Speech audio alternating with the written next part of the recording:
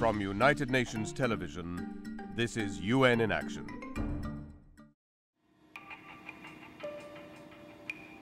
Liberia, a country in West Africa and home to more than 4 million people, is experiencing the worst Ebola virus outbreak in history.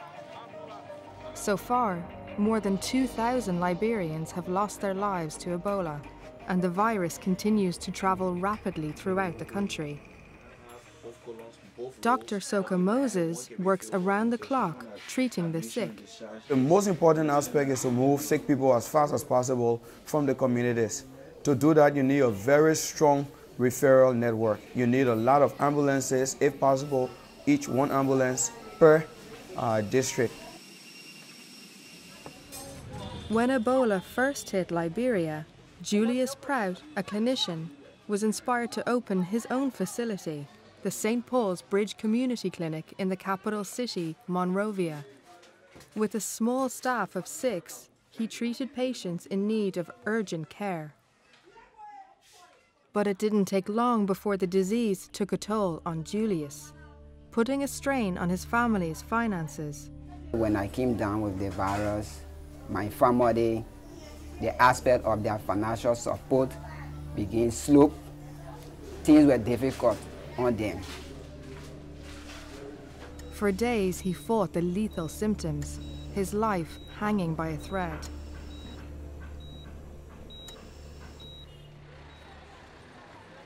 Ebola has affected all areas of Liberian society, says Antonio Vigilante, resident representative of the United Nations Development Programme, UNDP.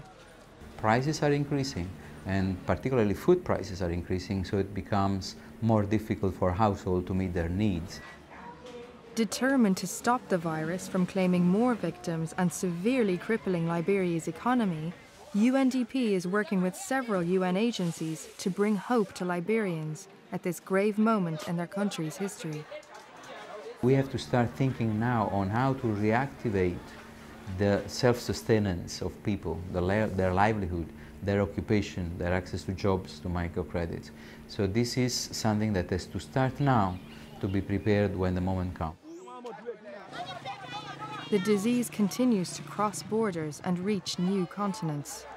To date, more than 10,000 people have been infected and more than half confirmed as fatalities. To control the virus, scientists and the medical community are working closely with the World Health Organization, WHO, and governments to develop new experimental vaccines and serums to fight Ebola.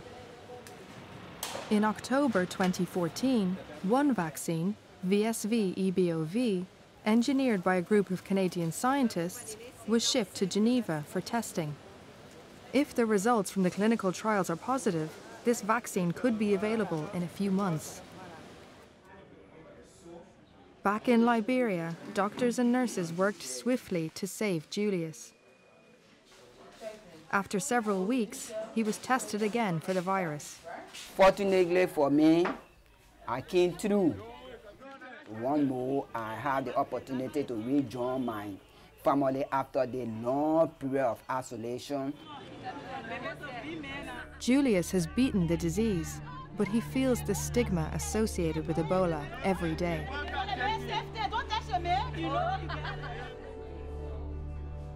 Until a cure is found and rapid action is taken, the suffering is set to continue.